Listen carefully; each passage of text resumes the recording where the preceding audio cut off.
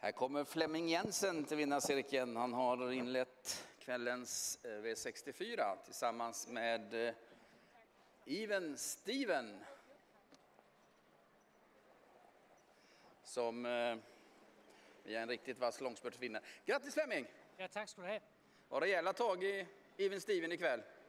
Ja, det blev jo et fint lup. Der var jo ret så fint tempo på, og øh, jeg tror, man har lagt lidt banemateriale på også, så den er lidt sej også, så, så det, var, det, var, det var fint for os. Mm, och när du satte fart på långsidan så gick det undan. Ja, øh, det, det er en fin hest, og øh, han har haft lidt utur, men øh, det er jo sådan, det er. Øh, men øh, en, en fin hest i bund og grund. Med bra säljsprocent. Det kan man sige, ja. Ja. Eh, Du har ju spännande hästar kvar ikväll. Ini Mini Mini Moo, Tycoon Conway Hall, Taste of Diamonds.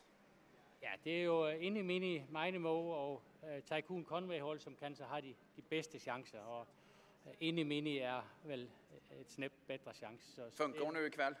så det er min bedste, bedste chance i dag. Fun- Funkar hon nu ikväll? Ja, men de fungerer på, på, på, øh, på, på banen. Det gør de fleste heste jo på den her fantastiske bane, så, så det er ingen bekymmer. Grattis till den här segern Flemming. Tak. Flemming Jensen alltså, som då har inlett kvällens V64 och det gör han tillsammans med Even Steven.